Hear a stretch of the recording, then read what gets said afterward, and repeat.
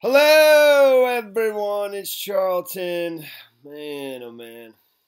Holy moly. All right, so Indiana bus driver arrested for allowing students to drive the bus. And there's video. There's video. And uh, it's an 11 year old, a 13 year old, and a 17 year old were allowed to drive the bus, according to this story, allegedly. Uh, Joan Drea, Joan Joandrea um, DeHaven Akati, uh, 27, was arrested on Friday and charged with felony neglect of a dependent. A person can be charged with neglect of a dependent if a decision places the dependent in a situation that endangers the dependent's life or health, according to Indiana state law. So, like I said, you know, the charge is that she was uh, allowing students to drive, and in this uh, it says um, first you got to do what you got to do is you got to put your foot on the brake. I'll show you. I watched this thing several times. I'm not absolutely certain you can see the bus moving. I was just trying to see if she's instructing the child with her just sitting in the in the driver's seat where it's sitting in park, you know.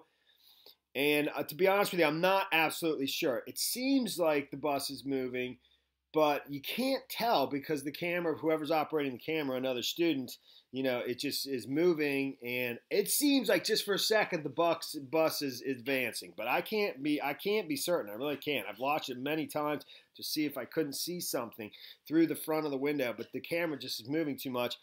So, and supposedly the student who was filmed in in, in, the, in the video is uh, was a middle schooler who was driving. That would be about 13, or wait, yeah, 13 I think is would be middle school.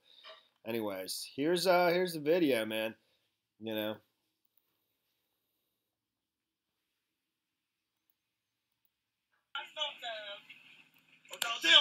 adults. Okay, okay. First, we gotta do put your foot on the brake. There you go. Sometimes, well, don't tell no other adults about this. Okay, okay. First, we gotta do put your foot on the brake. There you go.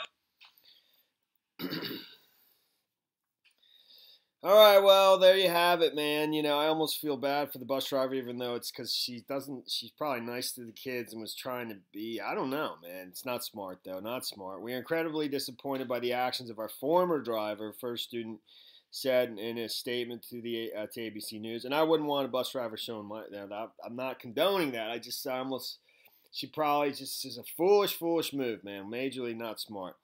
There is nothing more important than the safety of our students. Uh, we transport behaviors such as this completely unacceptable and totally at odds with what we stand for as a company, obviously. And um, Peter Town, uh, Porter Township School Corporation said students and parents both reported the conduct to the school administration, and its investigation quick, quickly substantiated that McAtee allowed students to drive the bus. Upon receiving information regarding this incident, PTSC administration, first student, are our bus service operator, and Porter County Sheriff's Department immediately began investigation. So, um, like I said, she's been charged with felony neglect of a dependent. And that is the story there, man. Thanks for watching my videos. Please subscribe to my channel. Give me a like down below. I will see you in the next video. Later, man.